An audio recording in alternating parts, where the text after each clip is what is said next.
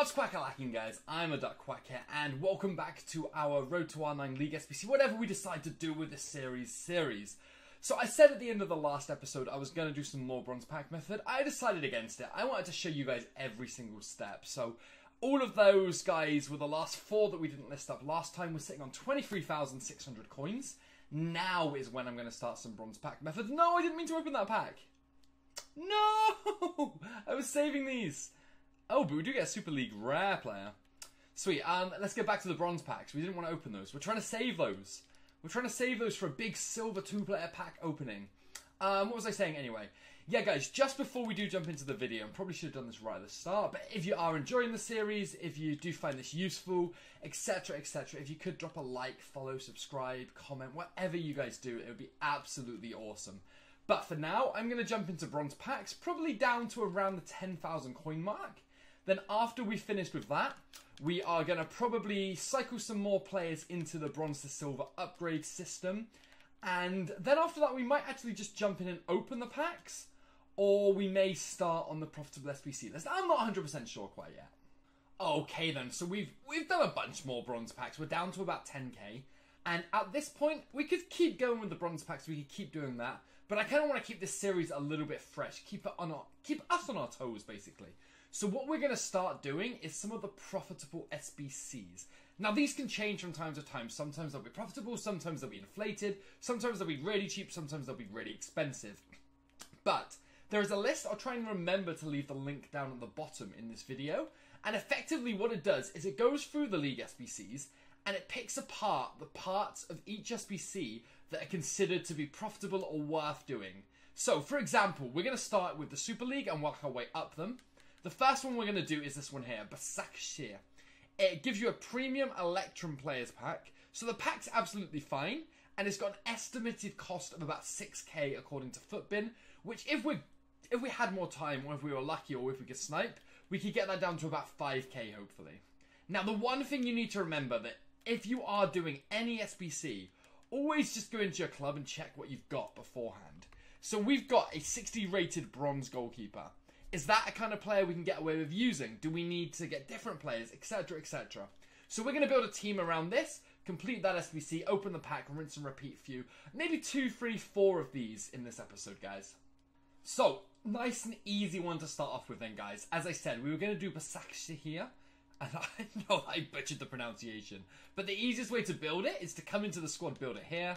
Find yourself Super League, which I have a feeling is here and then select the club that you're doing, obviously, it builds squad. It costs us about 5,000-ish coins to do. We found a way that we could use that goalkeeper we had in the club as well.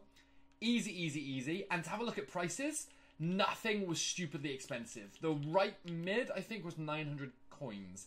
And that was the only kind of expensive player we got. The pack isn't sensational. It's not going to blow us away. The chances of getting anything huge in it is very slim. But it's a good enough pack because we need the silver players and the gold players along the way. Oh my god, a man of the match card? oh yeah! Argentinian Cam? Lo Celso. Oh, okay, okay. Okay, I can't really remember what else is in packs in terms of man of the match, but like I was saying, the pack itself carries a lot of benefits in the sense of we need silver players, we need gold players. This gives us both of them. So we're absolutely flying with that. But then when we get that tiny chance of something like this, doesn't have to be anything absolutely ridiculous, but a card like this that sells for um, it doesn't actually sell for discard, so we could just quick sell that card. There's no point in keeping it, right? I can't see any reason to keep it. We actually need coins. He's listed on mass, so he discards for 15,000. You can see how much is on the market for him. He's up for 15k. He doesn't sell for 15k. We are just going to quick sell him. 15k coins is huge for us. Absolutely huge. And then back to the same method of keeping everyone except for the players that we don't need. But yeah, guys, that's that's how it works. It's simple. We go through the profitable ones. We catch more players for the club. In turn, we keep them in the club. We do more SBCs. It's a it's just a cycle we rinse and repeat through. And occasionally we get some kind of pack like, like that. So I'm going to list up these two guys. Then we're going to do maybe one, maybe two more in Super League. I'll show you what we've done. I'll show you how much we spent. We'll open the packs. We'll keep doing this for a while now, guys. Okay, then, so, so we have done another two. First up, we did Besiktas, and as you can see, we're still sitting pretty on about 6,000 coins. So although we are kind of powering through them, if you like, in the sense of we've done three teams after this for one league, we're still being sensible enough with our coins. We've still got enough coins that we don't need to worry about anything, basically. That's Besiktas that I completely forgot to show you how much we spent on that. Uh, let me make sure I show you how much we spent on Fenerbahce. Besiktas was actually fairly cheap. I think a little bit more expensive than um, was. Let me just check it. Fenerbahce, I'm pretty sure, was cheaper than Besiktas. But both of them overall, they were both fairly easy to do. Like you could see, we've still got a ton of coins left. We spent uh, 950 on one of the players here, 900 on another one. They were the two rare players we used. And apart from that, just so, so cheap. For both of them, I think we're getting a 25k premium gold players pack both times round. So we are absolutely stacked from the two packs we get here. We just gotta hope for another board, basically. Another man of the match card would be incredible. Ah, blue. That's an inform, I think. That was really bright. Okay. England. I can't think of any good England players. Annoying. Annoying that it could have been like... Oh, who's really in this team of the week that's huge? Oh, Gareth Bale. Gareth Bale would have been absolutely massive. Um, we'll list him, we'll list him, we'll list him, we'll list him, we'll list him. We'll list him. We'll keep that. We'll list him. We'll list him. Okay, we'll send all of those to the transfer list uh, list. We'll send those to the club. And then on to the second premium gold players pack. Yeah, Gareth Bale would have been absolutely massive for us. That would have been the big, big inform. But still, back to back like special cards. We got a man of the match card, then we got an inform. We can't even begin to complain with that. Um, list those three. Keep, keep, keep. List, list, keep. List, list, list. Oh man, we're getting so many like uh, La Liga and Premier League players at the moment. That's fine, right? Let me go list all of that stuff up. Then I think we're going to do the last two profitable teams that I've got that I want to do for Super League at the moment. And then um, I think we'll probably end up having to wrap up the video before it gets too long after that. So let me sell these guys, get those next two done, and then crack on with those packs. Right, so we listed basically everything up, and I stupidly listed the inform, thinking like, okay, we'll get a couple of hundred more coins from this. And because I decided to list it, it hasn't sold quite as quickly as I'd want it to, and we're still basically waiting for that card to go, which kind of slows down our progress. I mean, we've got enough coins to do Galatasaray, as you can see here, and I'm really hoping that what we've got here is enough for rating. Okay, good. We are good. We are good. Oh, let me just show you what we spent again, of course. Uh, that was the keeper that we got first owner. Everyone else here, about 1,200 coins was the most we played for one of the centre backs. But apart from that, it was fairly straightforward. And we're getting ourselves a Prime Electrum pack. Now, the last team I wanted to do in here was... Uh, which was the last one I wanted to do? I think it was Osmanlispor was the last one, which gives us another one of those premium Electrum players packs, which I really like.